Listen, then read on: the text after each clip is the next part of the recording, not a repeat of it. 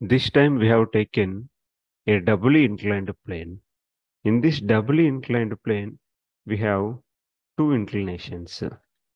In the one inclination, we can observe the ball starts rolling from rest towards the ground. So it is accelerating. And then it uh, either accelerates, it neither accelerates nor decelerate or nor it retards. It moves with the constant velocity once it reaches the ground. And finally it will retard. It reaches the same height as it started initially. Now we decreased the slope of the second inclination. At this time also it will reach the same height, but it will take more amount of time to reach this height.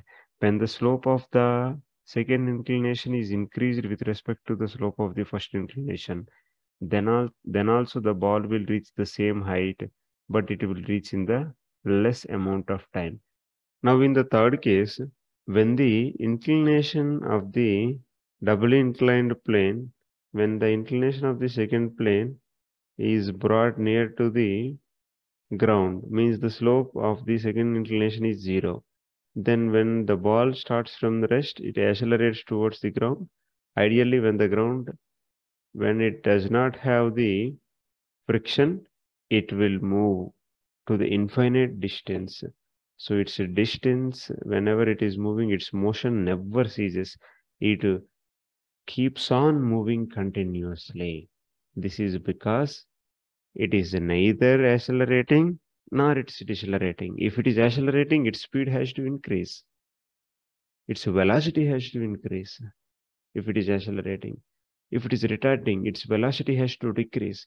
But in the horizontal, when it is moving in the horizontal direction, when there is no friction, there is no acceleration or there is no retardation.